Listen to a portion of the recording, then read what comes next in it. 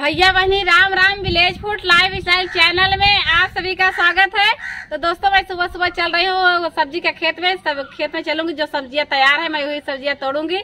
हमारे साथ बने रहिएगा। अच्छा लगेगा वीडियो को लाइक, शेयर, कमेंट करना मैं चलती हूँ।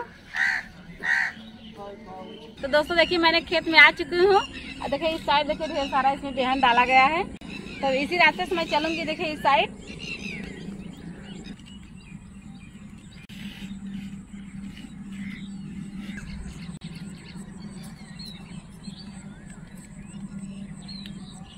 मैंने देखे दोस्तों भिंडी की खेत में आई हूँ। भिंडी की खेत से देखिए, मैं भिंडी तोड़ लेती हूँ।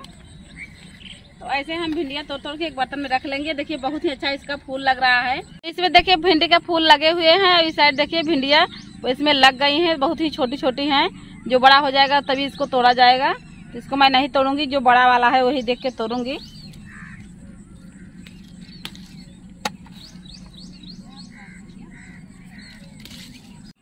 बहुत ही अच्छी अच्छी देखिए भिंडी लगी हुई है। तो ऐसे मैं तोड़ लेती हूँ। तो भिंडी में देखिए, इसमें रेसा होता है, जो कि रेसा लगने से हाथ में से खुजली होती है तो मैं इसे बचा के तोड़ लेती हूँ।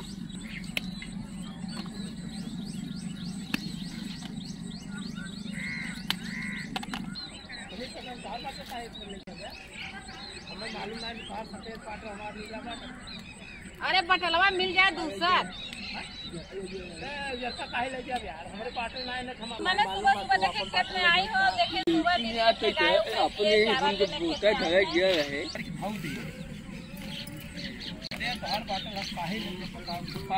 कौन खूबी बा तो में हमारे वही पानी तो ठंडा होता हमारा होता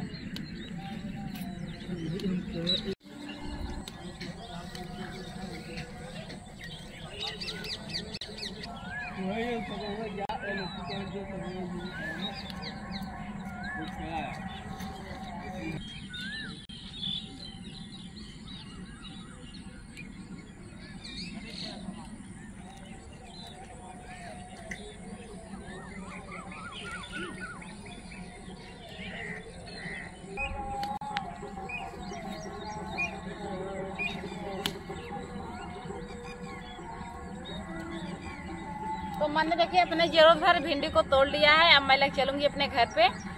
और देखिए, भिंडी का फूल काफ़ी अच्छा है। इसमें पीला पीला फुलाई दिखाई पड़ रहा है। बहुत ही अच्छा लग रहा है।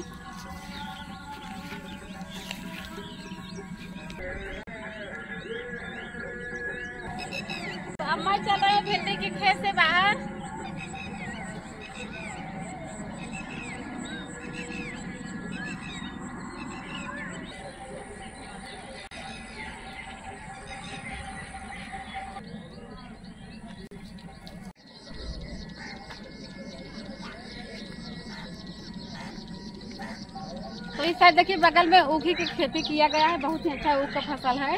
मैं चल रही हूँ। भिंडी की मैंने दो तीन पानी अच्छे से धुलेंगे।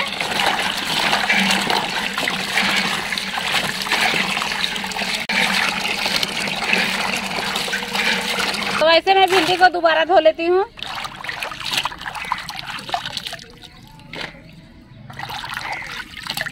भिंडी के मैंने अब इसको टुकड़े में काट लेती हूँ। तो वैसे इसको बीच बीच में ऐसे चीरा लगाएँगे। वैसे मैं चीरा लगाकर इसको रखती जाऊँगी।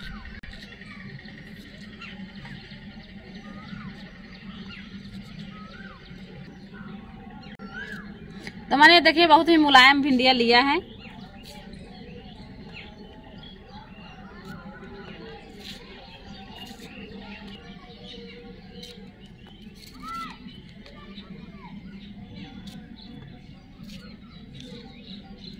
तो मैंने देखिए भिंडिया को काट लिया है, अब मैं प्याज को काटूँगी।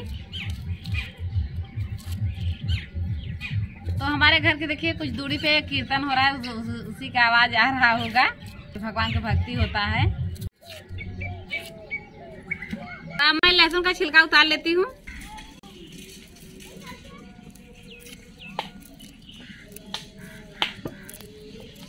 थोड़ा सा गरम मसाला लिया है, और लहसुन और प्याज। मर्चा, सबने एक में मैं पेस्ट बनाऊँगी।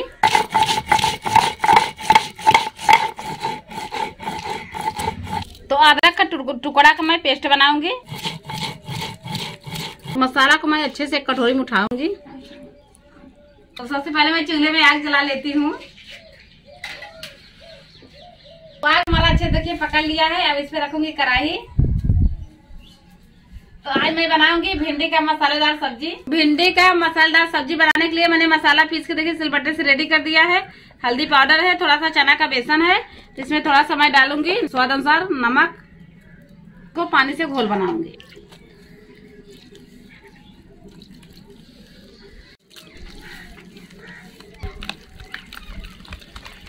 मैंने डाल देती हूँ सरसों का तेल।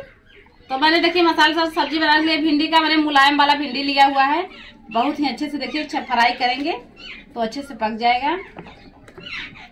तो इसमें ज़्यादा बेसन नहीं लगाऊँगी, बस हल्का हल्का इसमें बेसन लगाऊँगी। तो इसे लगा के रखती जाऊँगी। तो हमारा तेल देखिए गर्म हो रहा है तो तलक हम भिंडी में देखिए बेसन लगा के रेडी कर लेती हूँ।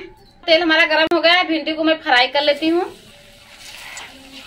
आप मसालेदार सब्ज़ी बनाएँगे, भिंडी के बहुत ही अच्छा बनेगा। तो मैं ऐसे बनाती हूँ। भिंडी का मैं दूसरे साइड पलटूँगी। तो मैंने देखिए बहुत ही धीमी आँच पका रही हूँ तो बहुत अच्छे से देखिए पक रहा है। दो तीन मिनट तक और पकाऊँगी। भिंडी को बहुत अच्छे से फ्राई कर लिया इसको तेल से छान लेती हूँ बाहर।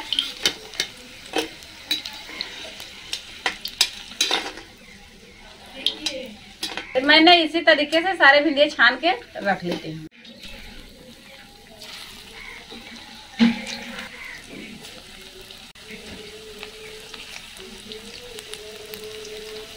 ऐसे हम सारी भिंडिया को देखिए, फ्राई कर लेती हूँ।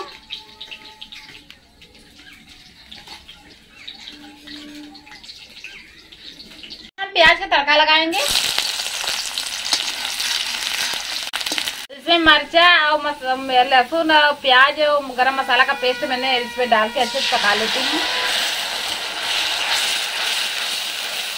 तो अब इसमें हल्दी पाउडर डाल देती हूँ।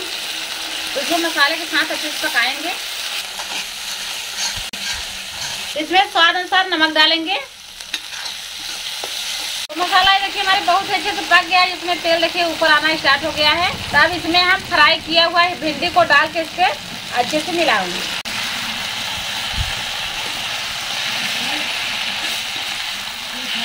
तो खाने बहुत ही टेस्टी लगता है, ऐसे हम लोग बनाते हैं।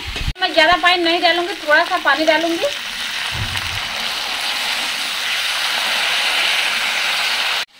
तो देखिए, हमारा हल्का सा वो सब्ज़ी को पकाऊँगी तब तो तक हम आटा को गूंथ के तैयार कर लेती हूँ।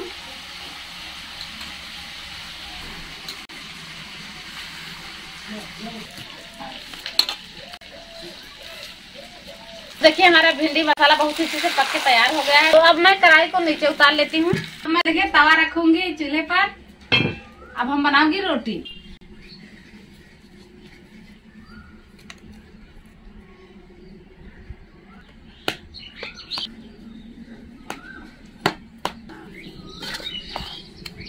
इसमें देखिए सूखा सा मैंने थोड़ा सा आटा लगाया हुआ है तो इसमें गोली गोली इसको थोड़ा चकाई बनाऊँगी, बड़ा बनाऊँगी।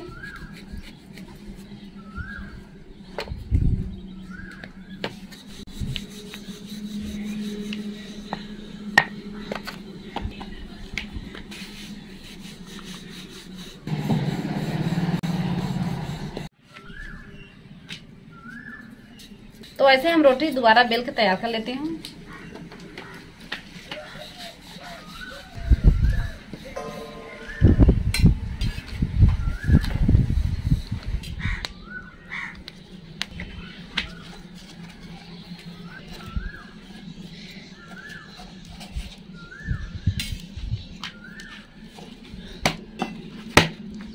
तो ऐसे हम रोटी सेक सेक एक थाली में रख लेती हूँ।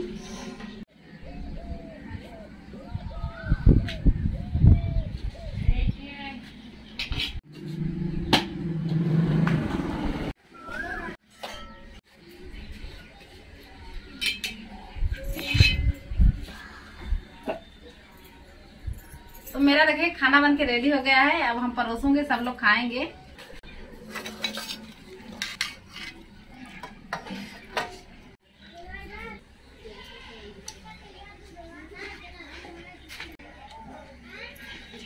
मैंने मुलायम वाले भिंडी का मसालेदार सब्ज़ी बनाए दोस्तों, उसके साथ में रोटी। अगर आज के हमारा वीडियो अच्छा लगा हो तो हमारे वीडियो को लाइक करना शेयर करना कमेंट करना। मैं फिर मिलूँगी एक नए वीडियो के संग। तब तक के लिए राम राम।